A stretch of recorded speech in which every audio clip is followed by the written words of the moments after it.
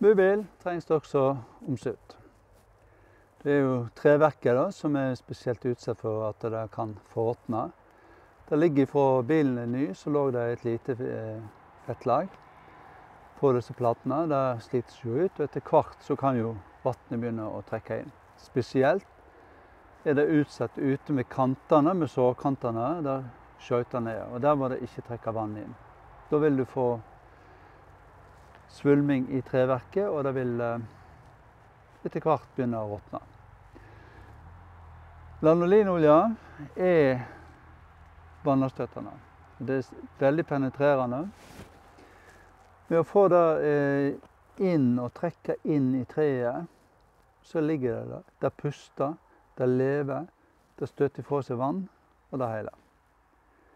Jeg skal nå vise litt hvordan jeg utfører en sånn jobb på en campingbil.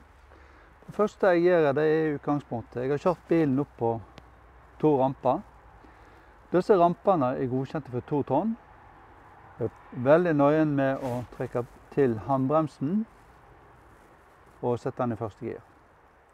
Og jeg påser at det ikke er noen som sitter inne i bilen. Da kan jeg trygt leie meg runde. Jeg har på laga meg enkel sånn vernemaske. Og jeg har vernebriller. Det skal jeg vite er at eh, lanolinolje det er naturprodukt. Det er ingen løsemidler i det. det er ingen fare med for kropp og helse. Men allikevel, fettet kan være ubehagelig å puste inn. Derfor bruker jeg sånn vernemaske. Nå er jeg eh, klar til å sprøyte den bilen. De viktige plassene som jeg vil prioritere nå, det er bak hjulbuen, med treverket bak og skøytene på bilen. Det er sånn at eh, forhjulene de spruter vannet bakover, og det er der det får den største påkjenningen. Så vil jeg gå framover på tregulvet framover, veldig nøye ute med sårkantene, og sprøyte der. På metallet da, så er det sånn at det galvaniserte det ruster jo ikke. Men f.eks. akslingen, bakhjulsakslingen, han vil ruste. Han kan du bruke samme understellsmassen på. Da vil han ligge der aktiv og verne den mot rust, og jo, eh, holde den aktiv over flere år.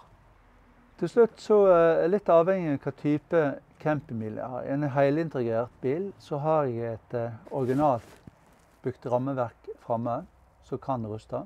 Da er det ramma som går bak til der han er ombygd. som er interessant å behandle innvendig, eventuelt utvendig.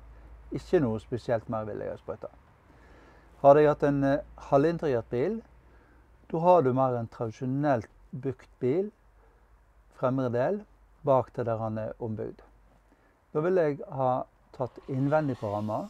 Jeg ville tatt eh, rundt ramma.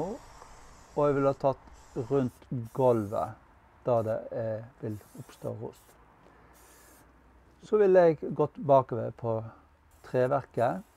Hvis den er galvanisert ramme bakover, så ville jeg ikke ha nok, gjort noe med den. Men bakaksel og de tingene der, de vil jeg da ha sprøtt opp.